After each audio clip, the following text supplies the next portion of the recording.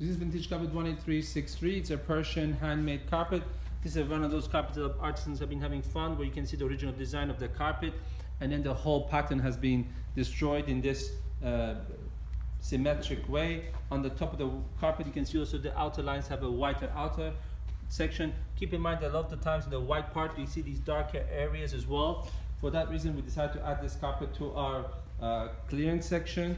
You can see here again the white has darker elements here as well. This is sporadic throughout the carpet, still a very beautiful Persian carpet and if you have any further questions feel free to contact us.